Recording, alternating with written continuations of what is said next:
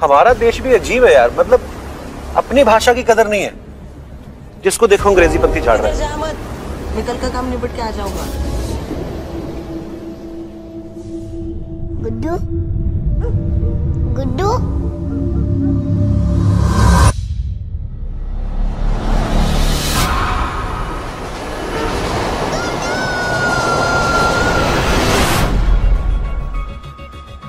अंग्रेज़ी नहीं आती तो मतलब कुछ नहीं आता।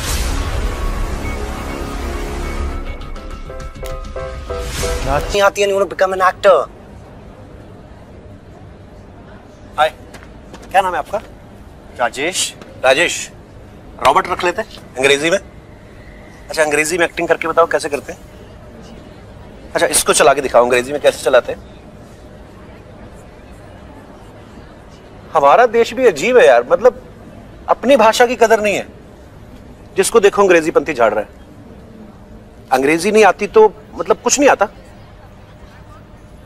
तुम्हें पता है, ये जो जापानी, चीनी, रशियन, जर्मन, इन लोगों को गर्व है अपनी भाषा पे, प्यार करते हैं अपनी भाषा से। इनके स्टूडेंट्स हों, इनके साइंटिस्ट हों, इनके नेता हों, सब अपनी भाषा का इस्तेमाल करते हैं। इनके नेता छोड़ो, अपने नेता ले लो।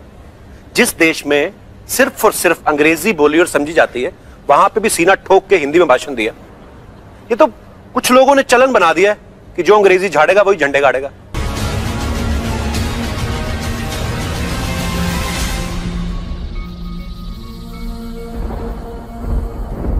जब हुनर चमकता है ना तो ये अंग्रेज़ी पंथी फीकी पड़ जाती है। समझे रॉबर्ट? राजेश।